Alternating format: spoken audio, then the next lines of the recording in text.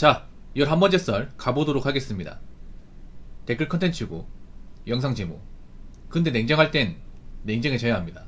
공시로 5년 이상 시간을 보내게 되면 인생이 망가집니다. 나는 영상에 달린 댓글입니다. 오늘 유독 공시 관련 썰을 많이 푸네요. 이상하게 댓글 썰 중에 공시가 많이 걸리네. 저는 좋아요. 왜냐하면 공시 관련 이야기는 할 게 많거든요. 너무 많아요. 사실 공시 저번에 꽤 됐거든요. 저도 공시를 했던 사람인데 옛날 추억이 떠오릅니다. 예. 한창 이제 좀 겁없던 시기라서 음 물론 그때 많이 힘들었어요. 그때 많이 배고팠고 힘들었어. 문득 그런 생각이 듭니다. 내가 그때 용기 내서 공시 받아가 나오지 않았으면 어떻게 됐을까? 근데 저는 좀 어땠냐면 그제 개인적인 사견인데 저는 공무원 시험 공부하고 접을 때 많은 사람들이 말렸어요. 이해가 안 되죠. 아니 공무원 시험 할 만큼 했으니까 접어서 나오면 그래 잘 접었다 이렇게 해야 되는데 말렸어요. 왜 말렸는지 아십니까? 저는 그래 필기 합격을 여러 번 했던 사람이거든요. 그래서 얘는 조금만 더 하면 필기 합격을 어렵지 않게 할 사람이라는 거 알기 때문에 야 너 공부 좀 빡세게 하면 가능하잖아. 그래서 제가 공무원 시험 접고 나서 그 대량 채용이 몇 배 있었거든 대량 채용. 갑자기 많이 뽑을 때 있었는데. 전화가 왔어요. 너 정도 붙을 수 있다고. 근데 전 접었다 얘기했죠. 에이 너 공부했던 가닥이 있으니까 한두 단 바짝 하면 될 것 같은데 했는데 안 했어요 그냥. 그 이후로 이제 예전에 공부하던 사람 연락이 끊겼거든요 저는. 예 끊겼습니다. 이제 뭐 입장이 다르니까 더 이상 만날 일도 없고 뭐 맞출 일도 없어요. 맞추면 안 되죠. 왜냐하면 제가 같이 공유생활 했던 분들은 경찰 공무원이거든요. 현직 경찰이니까 경찰하고 맞춰봐 좋을 게 없잖아. 안 그래요? 아무튼 제가 공무원 공부하면서 저도 공부를 적게 한 건 아니거든요. 정말 오래 했습니다. 오래 했는데 제가 놀랬던 것 중에 하나는 뭐냐면 저 말고도 오래 한 사람이 더 많았어요. 한 6년, 7년 하신 분들이 많았습니다. 근데 저는 그 생각이 들었어요. 이거 뭐 우리가 부교가 누리려고 공무원 시험 보는 것도 아닌데 뭐 공무원 말단 직원들 처우가 뻔한 거 다 알 텐데 저걸 저렇게 오래 붙잡고 있는 게 맞는 걸까? 이 생각이 들었습니다. 그래도 요즘엔 그나마 다행인 게 뭐냐면 그렇게 오래 붙들고 있는 사람들 숫자가 많이 줄었어요. 예전에 비해서는. 뭐 지금도 구급공무원 시험에 5년 이상 잡고 있는 분도 있습니다. 있는데 예전보다 많이 준 것 같아요. 예전보다는 확실하게 많이 줄었어요. 예전에 진짜 많았어요. 제가 준비할 때만 해도. 제 생각인데 그렇게 오래 하신 분들 대부분은 아마 못 붙었을 겁니다. 장난컨대 못 붙었을 거예요. 왜냐하면 그분들 공무원 오래 했지 막 막상 진짜 열심히 한다는 느낌이 안 들었었거든요. 한 번 밖에 나가면 한 시간 이상 안 들어오고 막 그런 게 많았거든요. 그분들 보면.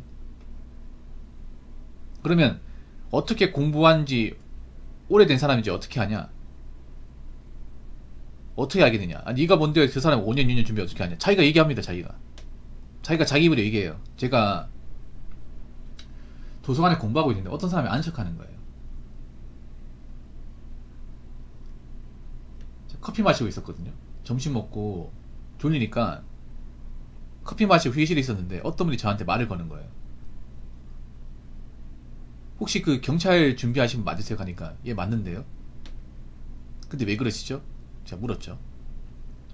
아 저도 경찰 준비하는데 야 정말 빡세게 준비하더라고요. 맨날 그 좋은 자리 가가지고 일찍 오고 화장실을 안 가더라고. 야, 아 그래요?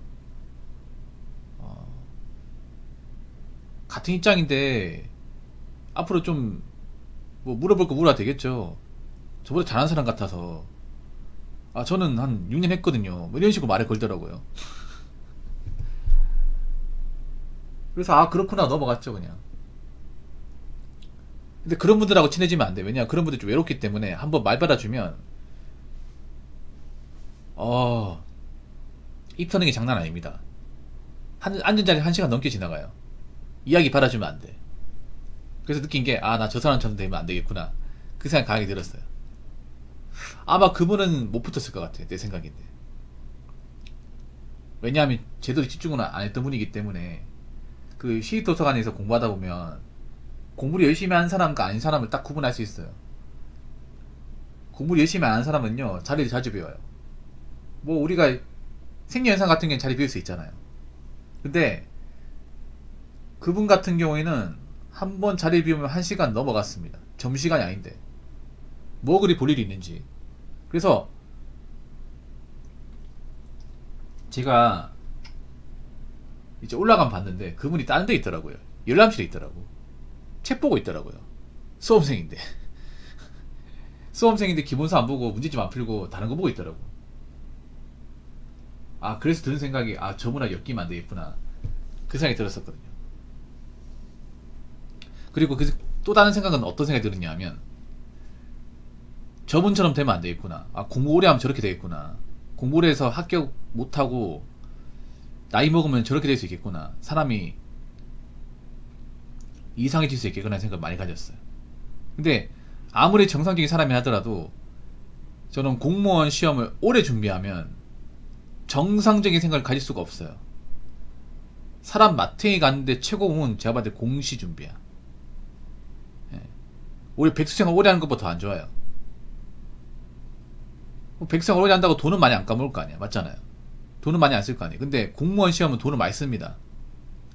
돈이 많이 들어가요, 이게.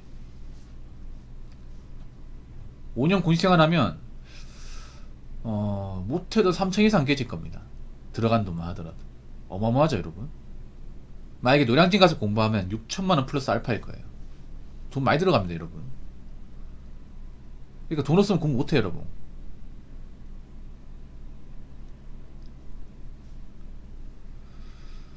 그게 돈이 들였는데 안 되는 거야. 돈과 시간 들였는데. 안 되면요, 사람이 자꾸 있잖아요. 이제 양지로 나오는 게 아니라 음지로 숨어버립니다. 그래서 제가 항상 얘기하는 거지만 절대 공무원 시험 오래 붙잡고 있으면 안 돼요. 사람 멘탈적으로 안 좋아져. 이상한 쪽 빠집니다. 제가 봐서 얘기하는 겁니다.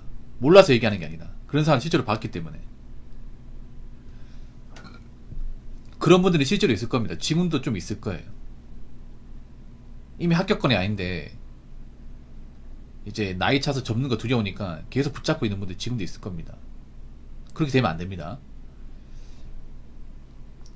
자 댓글 한번 읽어보도록 하겠습니다. 공무원 시험은 최대 2년 해보고 안 되면 접는 게 맞다고 생각함. 내 의견이 아니라 공무원 학원 현직 강사가 공무원 종합관 기간 설명회 때 한 말입니다. 근데 이분이 말이 그렇다는 거지 무조건 2년하고 접으라 이게 아닙니다. 이 말 오해하시면 안 돼요. 강사분들 이런 의도로 얘기한 게 아닐 겁니다. 그러니까 2년 준비했는데 아예 합격권에 가지 못하고 성적이 안 나온 사람은 접으라 이 말입니다. 보통 이렇게 얘기하면 뭐, 뭐 커타랭 근처에서 떨어진 사람도 윤회까지 안 되면 접어야겠네 이렇게 생각하는데 그게 아니에요. 여러분 보통 강사분들이 뭐 이제 공무원 시험 접으라고 얘기하는 사람 어떤 사람이에요? 택도 없는 사람들. 애초에 여기 들어오면 안 되는 사람들 얘기하는 거예요. 그 전환기 쌤그 공무원 시험 관련 영상도 그런 거예요. 그 자가진단 딱딱 해가지고 안된 사람 빨리 접으라고 얘기하잖아요. 그 접으라고 한 사람은 될 듯 말 듯한 사람 얘기하는 게 아니에요. 애시당초 공무원 공부해서 안 될 사람들.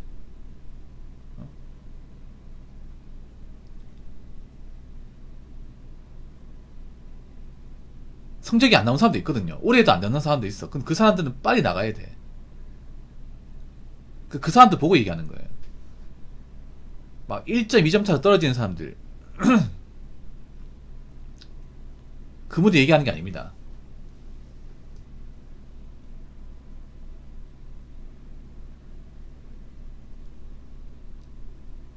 (3번) 문제 틀렸다 특히 (4번은) 틀리면은 특히 (4번은) 틀리면은 빨리 때려치워라.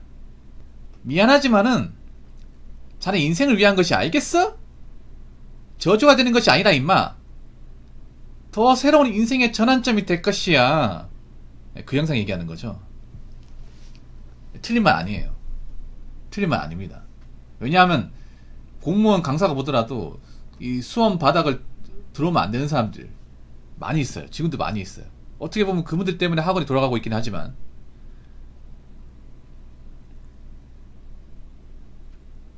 근데 그 공무원 강사분들도 압니다. 이게 구급 공무원 수준이 높기 때문에 2년 가지고 붙는 사람이 그리 많지 않다는 거 알고 있어요. 저분들 전문가예요. 공시 바닥에 하루 이틀 하신 분이 아니라 유명하신 분들은 제가 알기로는 공시 바닥에서 한 20년 하신 분들, 예. 그분들 전문가예요.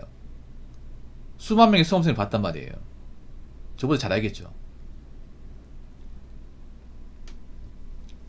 그래서 요즘에 공무원 시험 수준이 높기 때문에 경찰은 수준이 많이 높아요. 그래서 2년에서 안 되는 사람도 많아요. 2년에서 된 사람보다 안 된 사람 훨씬 더 많아요. 그러니까 좀 성적이 나오고 잘하면 될 것 같은데 안 된 사람도 있어요. 그분들 보고 뭐 2년하고 접으라고 이렇게 얘기하지 않을 겁니다. 근데 2년 했는데 하는 둥 마는 둥 하는 사람도 있어요. 그러니까 직업 수험생. 그분들한테 얘기하는 거야.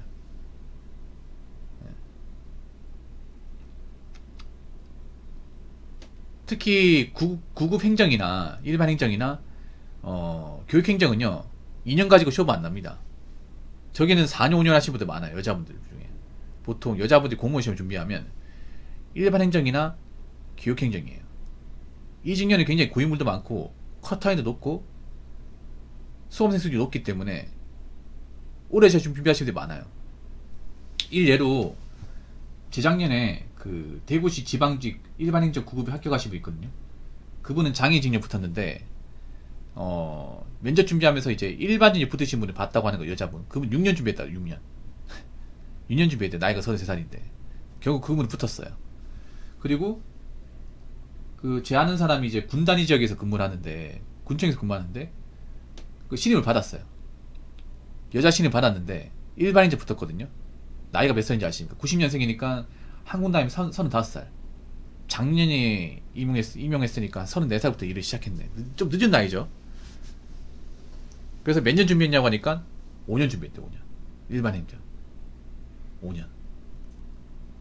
예, 일반 행정 이런 고위무들이 진짜 많아요. 여자 고위무들이. 엄청 많아요.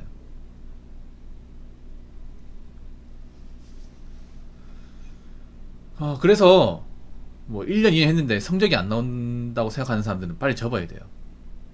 접어야 돼. 안 그러면 시간 까먹고 인생 까먹습니다. 아시겠죠? 자, 이상으로 11번째 썰 마치도록 하겠습니다.